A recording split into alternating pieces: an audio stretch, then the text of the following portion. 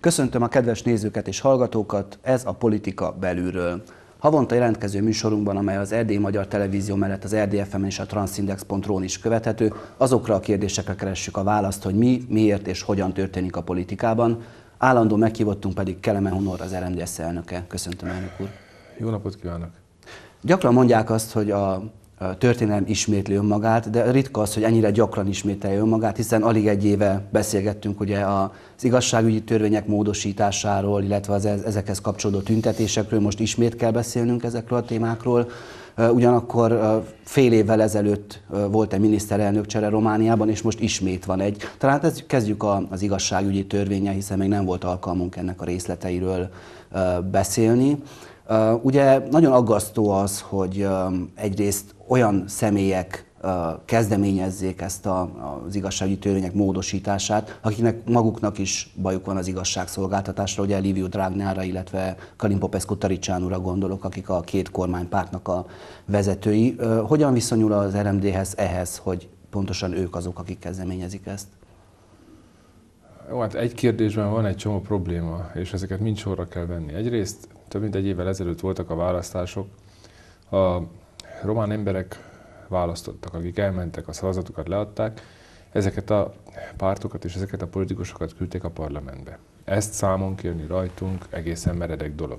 Hogy a PCD-t beszavazták az ALDE-t, a liberális pártot, a Mentsük meg a Románia Szövetséget és a Beszeszkú féle népi mozgalom pártját, ez volt az ő döntésük. Én demokrata vagyok, én ezt nem kérdőjelezem meg. Mi nem foglalkoztunk velük. Mi azzal foglalkoztunk, hogy az RMDS ott legyen a parlamentben. Egy, kettő, hogy ezek a pártok kit választanak meg vezetőjüknek, ez az ő problémájuk. Ezt mi nem tudjuk befolyásolni, nem is szólhatunk bele, mi sem fogadnánk el, hogy beleszóljanak a mi belső dolgainkba. Valóban nem egy szerencsés helyzet, hogy olyan emberek állnak a törvényhozásnak az élén, akiknek van valamilyen büntető jogi perük. Hogy most mi lesz a kimenetele, nem tudom. Azt majd a bíró fogja eldönteni, amikor a bírósági fázisba kerülnek, de ez nem szerencsés, mert ez mindig sebezhetővé, támadhatóvá teszi a kezdeményezéseiket. És ez valóban egy probléma. Négy. Van a három igazságszolgáltatási törvény, amelyeknek semmi köze a büntetőpolitikához, az államnak a büntetőpolitikájához, semmi közük a büntetőtörvénykönyvhöz, és semmi közük a büntető eljáráshoz. Ezek nem érintik semmilyen formában sem az előbb említett uraknak a büntető jogi helyzetét, sem másokét. Mert ezek az ügyészek és a bírók státusáról, jogi állását szabályozó törvényről szólnak, az igazságszolgáltatásnak a szervezéséről szólnak, arról, hogy milyen formában lehet a hierarchiában előre haladni, milyen kritériumok szerint, és a bírósági felügyeletnek a szervezéséről szólnak. Ezeket, ha szükségesen mindig, minden egyes alkalommal ezerszer sorra veszem, és megpróbálom elmagyarázni, hogy ezek nem sértik a jogállamiságot, nem vesznek el semmit az igazságszolgáltatásról, és a politikának nem rendelik alá. Sőt, a bírói felügyeletet megerősítik, és a bírói felügyelet az igazságszolgáltatás függetlenségének a garanciája. Abban az értelemben, hogy ők döntenek a kinevezésekről, ők döntenek a mindenféle igazságszolgáltatási problémákról, nem a politikusok, nem az államelnök, nem a miniszterelnök, nem az igazságügyminiszter, nem a e, parlament. És ilyen szempontból egy cikkeit senki nem tud nekem mutatni, ami a jogállamiságot sérteni. Az Alkotmánybíróságon megtámadták ezeket a törvényeket, és meglátjuk az Alkotmánybíróságnak a döntését, majd a parlament elfogadja és azt szerint módosítja a törvényeket. Az első esetben született már egy Alkotmánybírósági döntés, amely formai dolgokat kifogásol, én szerintem azok könnyen korrigálhatók, a lényeget nem érintik. A többit nem tudjuk, hogy mit fog dönteni, de én az Alkotmánybíróságnak a döntését elfogadom, és azt fogom javasolni, hogy az Alkotmánybírósági döntés alapján járjon el a frakció a szavazáskor. Akkor, amikor a büntetőtörvénykönyvről beszélünk, a büntetőeljárásról beszélünk, amelyről a parlament még nem döntött, az egy teljesen más történet. Az ö, ö, valóban sokkal több problémát vet föl, mint ez az első három törvény. És decemberben is azt mondtuk, hogy nem fogjuk támogatni nem tudjuk támogatni abban a formában, ahogy beterjesztették. Nem fogjuk támogatni, nem tudjuk támogatni azt a magas értéket, amit meghatároztak, meghatározott az egyik ö, ö, szociáldemokrata képviselő a javaslatában. Nem fogjuk tudni támogatni azt, hogy például bizonyos helyzetekben ne lehessen használni azokat a felvételeket, amelyeket a kültéri kamerák vagy a teljesen törvényesen fölhelyezett, kihelyezett, működtetett kamerák rögzítenek, és ez nem korrupcióról szól, ez egyszerűen a büntető eljárásban szükséges, mert én nagyjából, ahogy láttam az elmúlt éveknek a történéseit, a korrupciós vádak nem arról szóltak, hogy valamelyik iskola bejáratánál, vagy bank előtt, vagy a közkamerák alatt adogatták volna egymásnak a nem megérdemelt mit tudom én, juttatásokat. Tehát a korrupció nem ott történik, legalábbis az eddigi esetekből ez derül ki. Viszont a közbiztonság szempontjából rettenetesen fontos, hogy lehessen használni ezeket a felvételeket bizonyítéként, vagy például a házkutatás esetében is, az nem elfogadható, hogy a házkutatásnál te bemész, keresel valami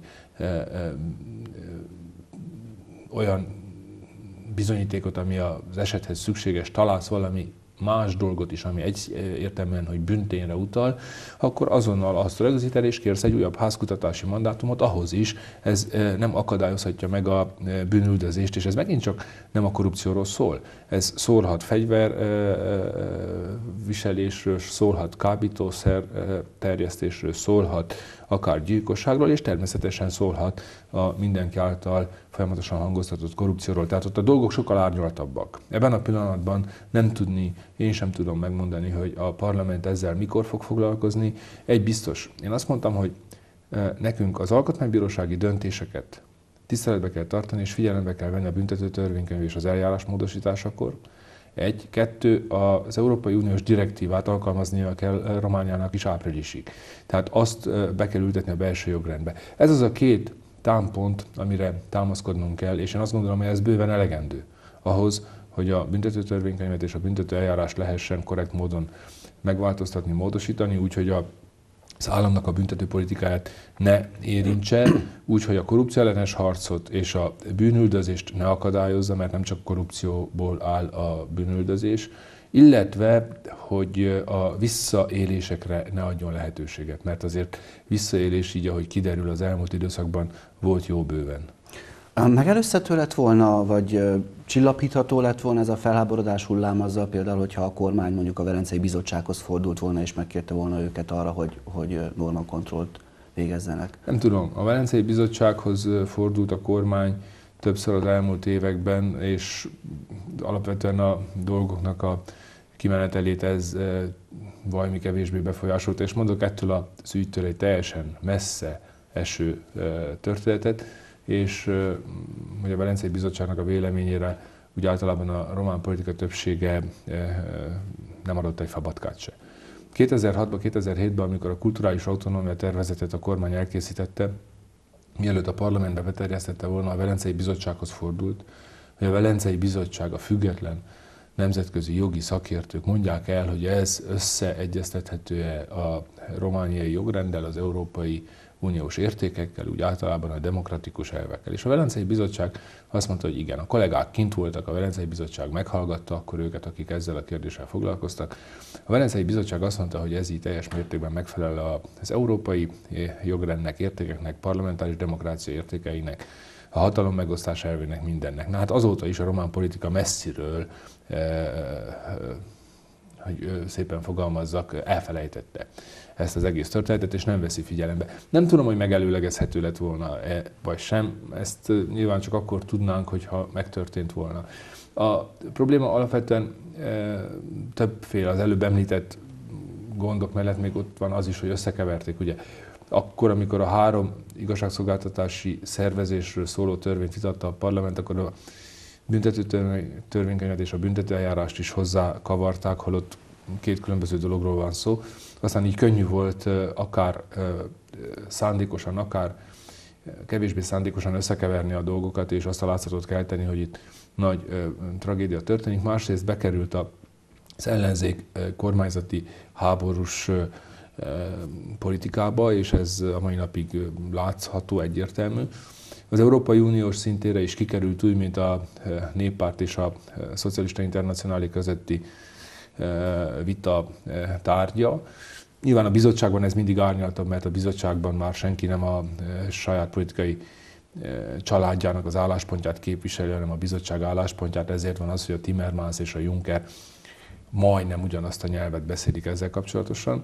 De a lényeg az, hogy itt volt egy rosszul felépített stratégia. Annak idején is mi mondtuk, a tavaly is javasoltuk nekik, bár nem kérdeztek meg, de a parlamenti előterjesztések során, hogy külön kell válaszolni. Nem szabad egy időben ezekről a kérdésekről beszélni, mert káosz lesz belőle. És nyilván ott vannak azok a politikusok, akikről a közvéleménynek az álláspontja kialakult, és nem változik, és nem jó. Jó, most arról nem beszélünk, hogy általában a politikusokról milyen a közvéleménynek az álláspontja. És nyilván benne van az is, hogy a liberális párt nagyon sokszor egy ilyen kettős játékot játszik, ami érthető kifele, azt mondja, hogy nem, nem, nem, semmit, de közben, ha lehet, akkor próbálja ő is ezt segíteni, támogatni, aztán ebből is a közvélemény azt érzi, hogy az ellenzéki oldalon is van egy ilyen, nem is tudni, hogy micsoda.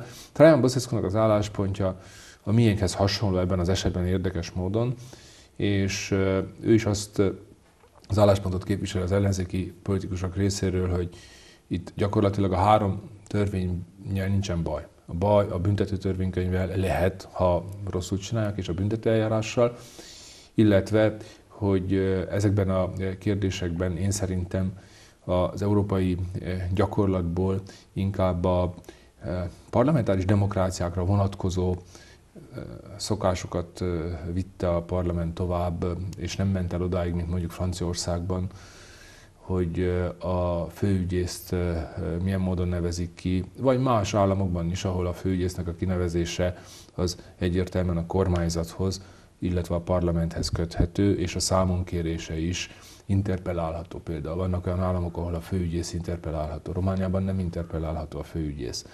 És a parlament és a kormányzat nem is tudja felelősségre vonni tulajdonképpen, és Románia ezt az utat választotta, na hát ez messze van attól, ami mondjuk van Franciaországban, vagy mondjuk az Amerikai Egyesült Államokban, hogy egy ö, ősi demokráciát említsünk. Számos nemzetközi jelzés érkezett arra vonatkozóan, ugye, hogy, mint, hogy aggodalmukat fejezték ki gyakorlatilag európai politikusok, az amerikai nagykövetség. Mivel magyarázható ez? Pontosan azzal, hogy összekeverhetőek a dolgok, és rosszul volt az egész előkészítve. Én a francia nagykövet asszony, a legutóbb, amikor beszéltem, akkor végigvettük a három, ez decemberben volt, végigvettük a három törvénytervezetet, és alapvetően minden egyes cikkeinél egyértelmű volt, hogy ezekkel nincsen baj. Viszont ugyanabban az időben a büntetőeljárással kapcsolatos vitát készítették elő, és ez nagyon bepörgött. Ott valóban sok gond volt, az előbb néhányat említettem, amit mi sem tudunk támogatni.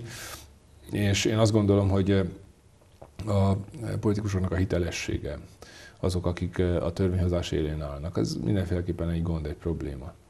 Eddig inkább arról beszéltünk, hogy belülről, a politikán belülről hogy látszik a, a, az igazságügyi törvények módosítása. Beszéljünk arról is, hogy, hogy az utcáról hogy látszik, hiszen ugye nagyon sokan vonultak ki a, a, a Bukarestben is múlt hétvégén talán kb. 70-75 ezeren tüntettek a, alapvetően az igazságügyi törvények módosítása, nyilván más dolgok ellen is. Hogyan viszonyul az RMDS ehhez? Már elmondtam többször, hogy Jon Rácit idézve, én demokrataként az utolsó pillanatig azért fogok harcolni, hogy szabadsága legyen mindenkinek nem egyetérteni például velem, vagy a politikusokkal. Ezt a jogot, hogy tüntessünk, ezt ezelőtt 28 évvel megszereztük magunknak, ez a társadalom kivívta magának. Nagyon jó, nagyon helyes, és mindenki akkor tüntet, és az ellen, ami ellen jónak tartja, és amikor jónak tartja, és olyan módon, amilyen módon jónak tartja. Nyilván nem lehet megengedni az agresszivitást, nem lehet megengedni azt, hogy egymást az emberek megfélemlítsék, megfenyegetsék, bántsák, sérelmez, nem történhetnek testi sértések, ezeket leszámítva, én azt gondolom, hogy teljesen rendben való. Tehát nem kell nekem semmit erről gondolnom és mondanom, mint az, hogy a tüntetéseknek minden társadalomban helye van, helyet kell adni, meg kell próbálni megérteni, meghallani azt, amit mondanak, Mennyire érti, mennyire tudja meghallani? Én azt gondolom, hogy az esetek nagy többségében, amit a tüntetők mondanak, azt én értem azon kívül, hogy hallom értem is, mert ugye a kettő között van különbség. Persze nem tudok én mindenkivel azonosulni, mert azért ez a 70 ezer, 75 ezer ember, mindegy, hogy hány ezer ember, nem is ez a lényeg, ez nem egy homogén közeg, nem mindenki ugyanazt gondolja, nem mindenki ugyanazt mondja, ott is van mindenféle beállítottságú ember, ezeknek a nagy többsége nyilván a tiszta közéletért tüntet, a korrupció ellenes harc folytatásáért, a független igazságszolgáltatásért, és ez mind rendben van idáig, és nyilván ezeket kell jól érteni és odafigyelni erre. Bizonyára vannak olyanok, akik más dolgokért mentek ki, de a nagy többség minden bizonyára, hogy ezért. Térjünk vissza egy kicsit az RMDS-hez közeli témákhoz. Ugye az év elején az RMDS az EMMP-vel és az MPP-vel közösen írt alá egy olyan nyilatkozatot, amelyben megerősítik azt a szándékukat, hogy kitartanak az autonómia elképzelések megvalósítása mellett. Miért gondolják úgy, hogy, vagy miért gondolja ön úgy, hogy a centenárium év elején kellett ezt a lépést megtenni, hiszen amúgy is nyilván eléggé feszült a helyzet ilyenkor?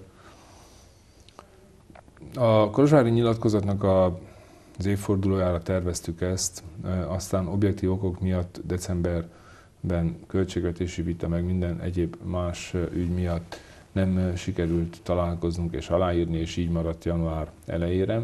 Nem mondunk semmi újat, nem mondunk semmi olyat, amit nem mondtunk volna 28 éven keresztül. Az RMDS programjában ezek a típusú célok, törekvések 93 óta a Brassói kongresszustól kezdődően minden egyes politikai dokumentumban, programban benne vannak. Ezt mindenki ismerte. Ezek mindig megjelentek a eh, különböző formában nyilván a nyilvánosság előtt. Amikor nem volt internet, akkor újságban, nyomtatott formában, amióta van internet, azóta elérhetőek az interneten, az RMDS honlapján, románul is, tehát ezt a román politikusok is ismerték. Ilyen értelemben csak azt mondtuk, hogy az RMDS eh, továbbra is az erdély magyarságnak azon törekvéseit támogatja és azon törekvéseit a magáinak tudja, amelyek arra vonatkoznak, hogy intézményes formákat kialakítani az identitás megőrzéséhez. Ezeket lehet autonómiának nevezni, autonómiának nevezzük mi, különböző autonómia formáknak. Egy, kettő. A centenárium évében azért azt nem vállaltuk, hogy egy éven keresztül hallgatni fogunk. Ülünk a, az egérjukba, és várjuk, hogy a felhők, meg a napsütés, meg a hó, meg a vihar elmenjen, és utána kijövünk. Tehát erre nem vállalkoztunk, ilyet nem ígértünk, ilyet nem mondtunk senkinek, hogy 18-ban a, hangukat, a hangunkat nem fogjuk hallatni. 18 számomra egy olyan esztendő, amikor azokat a fontos témákat, amelyek száz éve bennünket foglalkoztatnak, ismét ki kell tudni mondani őszintén, tisztességesen annélkül, hogy a másikat bántanánk. Nem a bántás szándékával mondtuk ezeket, és nem a bántás szándékával mondjuk. Mert mi a bántó abban, hogyha én azt mondom a többségi társadalomban, hogy ő felelős azért, hogy a kisebbséggel mi történik? Mi a bántó abban, hogyha én azt mondom, hogy az 1918-as ígéreteket be kell tartani? Egy román újságíró azt kérdeztem minap tőlem váradon, hogy hát száz év után számon kérne az ígéreteket. Hát mondom, ember, az ígéretek azok száz év után is ígéretek, a be nem tartott ígéretek, száz év után is be nem tartott ígéretek hogy hát ez egy kicsit anakronisztikus. Hát mondom, hogy jó, oké, rendben van. Akkor mondok neked valami elvet, ami nem anakronisztikus, ugye? Például azt a hosszú kardinálist, aki felolvasta a Gyulafehérvári nyilatkozatot, börtönbe zártátok, elvetitek tőle az egyházát, betiltottátok. Ez száz év után nem jelent semmiféle lelkismereti furdalást sehol a román társadalomban, mert én így is tudom ezt nézni, akár. De mondjuk ez kevésbé az én problémám. Tehát 1918, 2018, 100 esztendő. Én azt gondolom, hogy igenis 18-ban őszintén, tisztességesen lehet arról beszélni, hogy milyen állapotban vagyunk, mit várunk el a román társadalomtól, és amit elvárunk, azt nem azért mondjuk, hogy el akarunk venni valakitől valamit. Tehát azok a törekvések, amelyekről az erdélyi magyarság beszél, azoktól nem lesz szegényebb a román társadalom. Nem veszünk el a román emberektől semmit. A szabadság nem olyan, mint a kenyér, hogyha négybe vágod, akkor valakinek biztos, hogy kevesebb jut, esetleg az ötödiknek nem marad. A szabadságot lehet osztani. Attól lesz több, hogy mindenkinek van belőle. És az a szabadsága egy közösségnek, hogy a maga ügyekben ő dönthessen, ez 2018-ban sajnos még mindig abban az értelemben aktuális, hogy nem valósult meg úgy, ahogy azt megígérték 1918-ban. Tehát 18 ilyen értelemben is az őszinte beszédnek az esztendeje kell, hogy legyen, én azt szoktam mondani, hogy a párbeszéd évekkel legyen, de hát nyilván ez nem csak rajtunk múlik. Igen, épp ezt akartam mondani, hogy ugye nehéz párbeszélni az egyetlen olyan témáról, amiről a, sem a román társadalom igazából, sem a román politikum nem hajlandó párbeszédet folytatni, már pedig ez pont az autonómia, hát az autonómia szó az már ilyen pavlovi reflexeket vált ki lassan a, a román politikai alakulatok vezetőiből legalábbis, és most azt hiszem, hogy ez kivétel nélkül mindegyikre igaznak mondható, és pont ezzel kapcsolatban kérdezném azt, hogy, hogy nem kontraproduktív az, hogy, hogy próbálunk párbeszédet folytatni, de pont arról a témáról, és pont egybecsomagolva, tehát hogy igazából itt a területi autonómia ugye az, ami a, a legkevésbé reálisan megvalósítható a közeljövőben. Ugyanakkor a kulturális autonómia esélyeit nem csökkenti az, hogy egybevesszük egy csomagba a területi autonómia elképzelésekkel? Szerintem nem. Egyáltalán nem csökkenti. 2006 óta ott van egy törvénytervezet a parlamentben. Akkor is ott volt, amikor kevesebbet beszéltünk a regionális vagy területi autonómiáról, ott van most is. Tehát nem igaz az, hogy csökkenti. Ha ö, ö, nem csökkentette volna, akkor már rég meg kellett volna szülessen az a törvény, és rég életbe kellene, hogy legyen az a törvény, amelyet 2006-ban az RMDS kezdeményezésére az akkori román kormány terjesztett a parlament elé. Sajnos nem volt már eleje, ereje, a többség már nem támogatta a parlamentben azt, amit a kormány beterjesztett. Tehát ilyen értelemben az, hogy ha erről nem beszélünk, annak az esélyei hirtelen megugranak, vagy fordítva, ezt a valóság e, sajnos már rég fölülírta. Az autonómia valóban az a szó, amitől a román társadalomban, a román politikában mindenki féket nyom. Találjunk más szót erre, és beszéljünk csak a tartalmáról. Én ezt el tudom képzelni, el tudom fogadni. Viszont a tartalma a legfontosabb, és amikor a tartalomról beszélünk, akkor is fölmerülnek kérdések, akkor is fölmerülnek aggályok a román társadalomban, illetve én azt gondolom, hogy előbb-utóbb el kellene tudnunk jutni odáig, hogy amikor az autonómiáról beszélünk, akkor mindannyian azt gondoljuk az autonómiáról, és akkor tudunk érdemben vitatkozni, mert amit mi gondolunk az autonómiáról, az nem ugyanaz, mint amit a románok gondolnak, és itt nem tudunk közelíteni 28 esztendeje, ez a probléma. Mert mi elmondjuk ezerszer, hogy az autonómiát mi Románia területi integritását megőrizve képzeljük el, hogy az autonómia nem a probléma, hanem a probléma megoldása. Lásd Déltiról, lásd finn-svéd viszonyt, és akkor lehetne sorolni a kulturális autonómiára is, meg a területi autonómiára is a jó példákat, és mi ezt mindig elmondjuk. Mi ezt mindig hangsúlyozzuk, ezerszer elmondtuk. Régen is, most is. Ők viszont folyamatosan az autonómiára úgy tekintenek, mint a szeparatizmusnak az előszobájára, mint az elszakadásnak az előszobájára. És mindig azt mondják, hogy nem, mert az autonómia után következik valami egyéb. És mi hiába mondjuk, hogy nem következik, mi nem erre tettünk ígéretet, és nem ez a célunk. A kölcsönös bizalmatlanság. Nem bízunk egymásba. A románok nem bíznak bennünk, száz év után sem és úgy tekintenek ránk, mint a román állam egységét folyamatosan megkérdőjelező, veszélybe sodró entitásra. Sajnos ez van, ezt ki kell mondani. Látjuk, a mindennapokban érezzük. Mi meg a románokra úgy tekintünk, és mi sem bízunk bennük, mint arra a közösségre, amely folyamatosan asszimilálni akar bennünket, az elmúlt száz évben különböző kísérleteket tett a különböző időszakokban. Nyilván legdurvábban a kommunizmus alatt, és annak is az utolsó másfél évtizedében, a 70-es évektől kezdve a 80-as évek végéig, nyilván a kommunista diktatúra megbukásáig, és mi azt gondoljuk, hogy ezekről a törekvésekről a román állam azóta sem tett le, csak sokkal másabb eszközökkel követi. És amíg ezt a kölcsönös bizalmatlanságot nem tudjuk feloldani, addig nagyon nehéz ezt tovább jutni. De úgy, hogy nem beszélünk a dolgokról, úgy nem lehet feloldani a bizalmatlanságot, úgy csak a szőnyeg alá seperjük.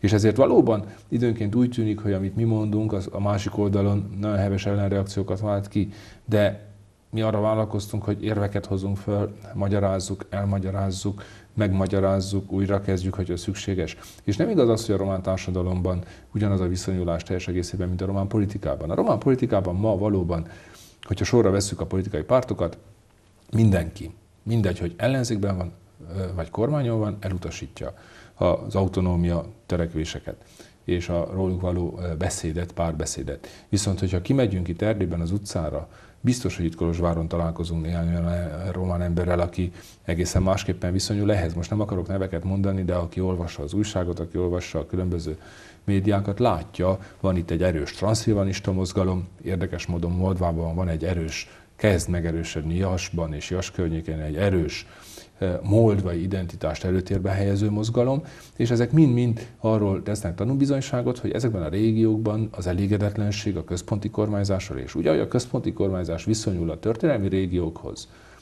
az nem jó. Elégedetlenek az emberek ezzel kapcsolatosan.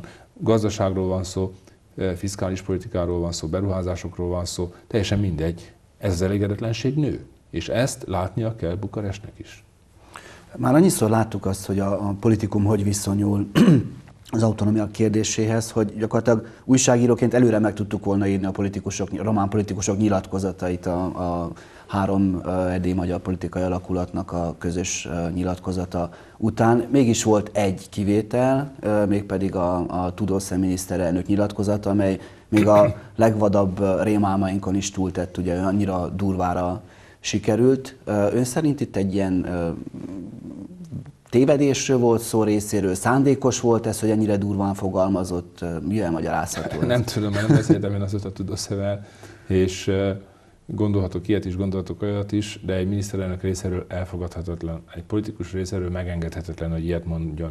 Akkor is, hogy ha szándékosan tette, és elsősorban akkor aztán nem is lehet semmiféle mentség számára, vagy hogyha belehúzták egy ilyen játékba, egy ilyen kérdez, felelek, kérdez, felelek, meccs után ő elfutott a szája egy kicsit más irányba, mint ahogy gondolta, az sem elfogadható, annak is következményei kell legyen.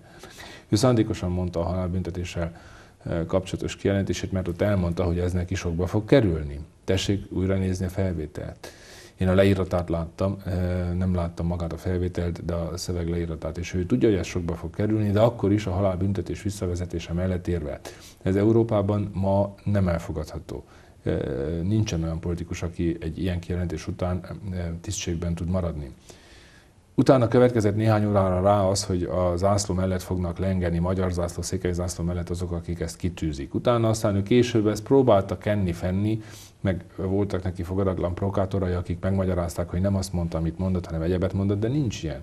Politikai kontextusban azt a szöveget úgy elmondani, néhány óra leforgása alatt halálbüntetés után e, arról beszélni, hogy emberek lógni fognak, elfogadhatatlan. Na most, hogy tudod, ezt miért csinálta, én ezt nem tudom. A probléma igazából ennél sokkal súlyosabb ma már, mert tudod, nem miniszterelnök, viszont a politikában három embert leszámítva senki nem, a román politikáról beszélek, senki nem határolódott el ettől a kijelentéstől. És én ezért mondom, hogy ennek még nincs vége. Erről még fogunk beszélni. Először elhatárolódott a mostani miniszterelnök jelölt a Viorica Dencila. Európa parlamenti képviselő volt. Akkor nem tudtuk, hogy miniszterelnök jelölt lesz, lehet, hogy ő sem. Lehet, hogy tudta, lehet, hogy nem, de elhatárolódott ettől, és azt mondta, hogy ilyet nem lehet mondani, ezt nem lehet elfogadni. Utána a volt miniszterelnök nyilatkozott a magyar sajtóban, azt hiszem a Maszolban a Viktor Ponta, és utána Dragnea mondta, hogy a Szociáldemokrata Párt ettől elhatárolódik, ez nem a Szociáldemokrata Pártnak az álláspontja. Rendben van, de mi van az Aldeval? Mi van a liberális párttal? Mi van a Mentsük meg a Románia Szövetséget? Mi van Basescu-val? Ezek közül egyetlen politikus sem mondta azt, hogy elhatárolódik ezektől a kijelentésektől, sem a halálbüntetéstől, sem attól, hogy az ászló rúdon emberek fognak lógni.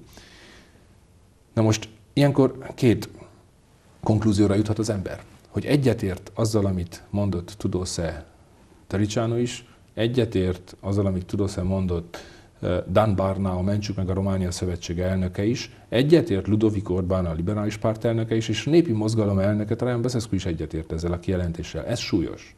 Ez tragikus. Vagy pedig félnek, mert úgy gondolják, hogy ezáltal szavazatokat veszítenének, és nem mernek állást foglalni. Akkor viszont hagyják abba a politikát. Egy politikusnak kell vállalni a véleményét. Az, hogy ők ettől nem határolódtak el, és nem mondtak semmit, ez a román politikára rettenetesen rossz fényt vet. Mégis csak a 21. században vagyunk, 2018-ban vagyunk, és ezek az urak közül egyik sem mondott se bűt, se bát. Volt egyébként önnek alkalma uh, Tudószeval beszélgetni erről a kérdésről? Nem, én azóta nem beszéltem Tudószevel. Én amióta ezt a kijelentését megtette, azóta nem is találkoztam, nem is beszéltem vele. Ja, a dolgok véletlen uh, egybe játszásának köszönhető az, hogy miután az RMDS kérte a uh, miniszterelnök lemondását, azt követően a miniszterelnök lemondott, bár nyilván úgy tűnik, hogy semmiféle kapcsolat nem volt a kijelentése, a magyarokkal elleni kijelentése, illetve a lemondás között, hiszen ott egy pár belső konfliktusról volt szó. Mennyire zavarja meg az ország működését az, hogy így fél évente cserélgetjük a miniszterelnökünket? Megbonták a politikai bizalmat, ugye Tudószetől a pártja ezt, után megtette, hát neki nem is nagyon marad más megoldása, mint hogy lemondjon. Egyrészt, másrészt pedig, hogy a politikai bizalom megvonásához mi minden járult hozzá, nem tudjuk, mert nem voltunk ott, nem ismerjük a belső vitákat. Az, hogy fél évente kormányt váltanak, vagy kormányfőt váltanak, és ezzel együtt kormányt is, ez drámai, tehát azért lehet ezt csinálni. Vannak államok, ahol évente cserélnek, vagy 8-10 havonta cseréltek miniszterelnöket, minisztereket. Olaszországnak is volt egy ilyen periódus, a más államokban is, demokratikus államokban ez megtörténik, de nem ebben a formában és nem ilyen módon. És ott mindig abban az időszakban politikai instabilitásról beszélnek. Ez rossz a gazdaságra, rossz a beruházási környezetnek az állapotára, rossz a beruházásokra, rossz magára az adminisztrációra, mert az adminisztráció nem dolgozik. Az adminisztrációnak az a tulajdonsága, hogy megvárja, hogy ki vezeti az országot, és addig nem tesz semmit, kivár. Na most, hogyha fél évente változtatják a miniszterelnök személyét, a miniszterek személyét, akkor az adminisztráció gyakorlatilag a minimális teljesítményt nyújtja, és semmi többet. Ez látszik is az ország állapotán. Tehát ilyen szempontból nem jó. Hogyha ezt így folytatják, én mondtam viccesen, hogy akkor még 5-6 miniszterelnökre még szükségük lesz, akkor egyszerre most hozzák be mind az 5-6-ot, ismerjük meg, azt aztán jönnek szerre fél évente cserélik őket. Na de a viccet félretéve, ez nagyon nem jó, nagyon rossz.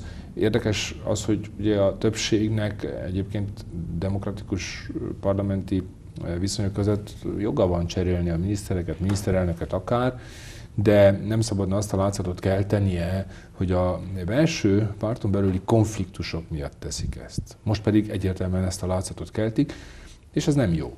Most nyilván kívülről ezen változtatni rettenetesen nehéz. Nekik aritmetikailag megvan a e, megfelelő szavazatszámok. Johannis elnöknél, amikor voltunk a konzultáción, ő is ezt mondta, hogy hát neki tulajdonképpen nagyon sok lehetősége nincsen, mert aritmetikailag van egy többség egyrészt, másrészt meg, hogy az ellenzék, kvázi ellenzéki oldalon nincsen semmi. Ő kérdezte tőlünk, hogy van valamiféle egyesség, tárgyaltok, találkoztok, beszélgettek ti ott, és mondtuk, hogy nem, szó nincs, semmiféle egyeztetés nincs. Az ellenzék teljesen szétesett, én mondtam neki, hogy nem beszéltem én a Ludovik Orbánnal az ő szóta, Dan Barnával nem beszéltem, bár terveztük, hogy leülünk, beszélgetni. Talán Baszeszkóval szoktunk beszélgetni, mert ott a parlamentben az együttes üléseken egymás mellett ülünk, de hát az nem tárgyalás, az inkább csipkelődés egymással.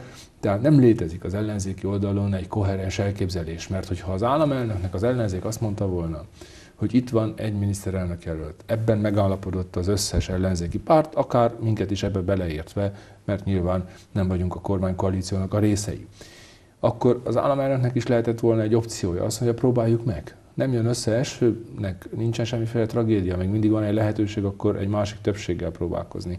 De mivel ilyen e, egyeztetés, ilyen kísérlet sem volt az egyeztetésre az ellenzéki oldalon, most mit tehetett volna e, e, az államfő, illetve mit tehetne gyakorlatilag a parlamenti politikai élet szereplőinek egyike vagy másika, mint hogy azt a többséget, amelyet a választásokon a parlamentbe küldtek, és amelyet ismét meg ismét megerősített szavazatával a pszd alde koalíció elfogadja. Hát most egyébként nem tudsz a demokráciában csinálni, ugye nincsen más lehetőség. Ezért ők a kormányzást folytatni fogják a pszd de nincsen igazából ebben a pillanatban alternatíva.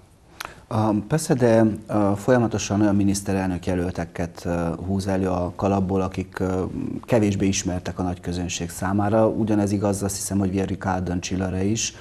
Mi az RMDS-nek a, a véleménye Vierika Döncsille új miniszterelnökről? Hát mi ezzel találkoztunk vele, amikor volt egy beszélgetésünk most a napokban, és nem ismertük addig. Én személyesen nem is találkoztam soha vele egészen most keddig, amikor a frakcióba eljött és az elképzeléseiről beszélt.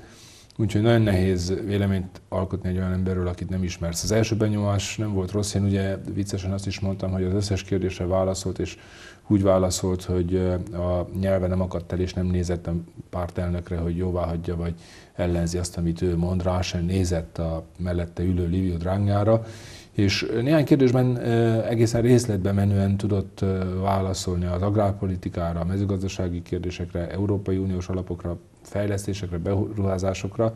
Nagyon alaposan tudott válaszolni.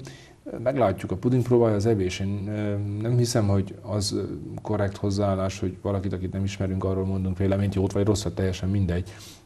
Meg kell várnunk, hát tehetünk más, mint hogy megvárjuk, hogy hogyan fogja a kormányt vezetni. Én nem hiszek abban, és sohasem hittem abban, hogy egy kormányfő kívülről irányítható. Nincs ilyen. Ezek mesék. Egy kormányfő kívülről nem irányítható, mert ő hozza meg a döntéseket, ő írja alá a papírokat, mint egy miniszter sem irányítható.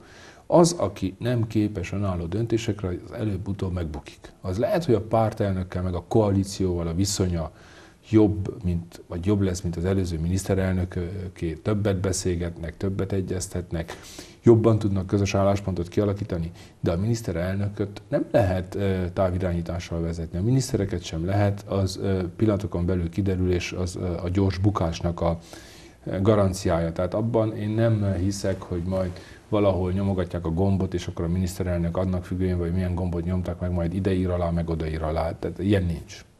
Egy utolsó és nagyon gyors kérdés és gyors választ is szeretnék. Folytatja az RMDS az együttműködést a PSZD-ALDE koalícióval?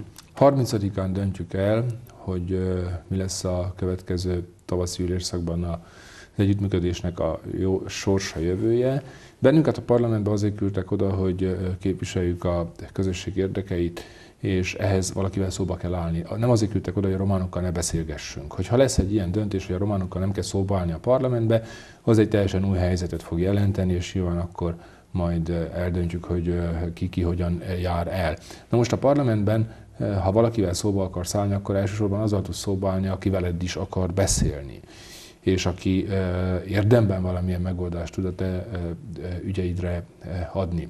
Ebben a pillanatban a PCD ALDE hajlandó néhány kérdésben, jó néhány kérdésben egyeztetni, de én azt gondolom, hogy a román-magyar viszony tekintetében, a többség-kisebbség viszony tekintetében nem lehet ez a bármikori kormányzatnak a, az apanázsa. Tehát az ellenzéket is ebben a kérdésben mi folyamatosan próbáljuk megszólítani, és velük is akarunk együttműködni, velük is akarunk egyeztetni, mert egy vásárhelyi iskola ügye, a nyelvhasználat ügye, az oktatási kérdések, azok nem csak egy politikai oldalnak a e, különbejáratú problémáját képezik. Ezért én azt szeretném, hogy a következő időszakban a párbeszédet kormányjal és ellenzékkel egyaránt tudjuk folytatnia. Elnök úr, köszönöm szépen, ennyi fért mai műsorunkba. Ez volt a politika belülről.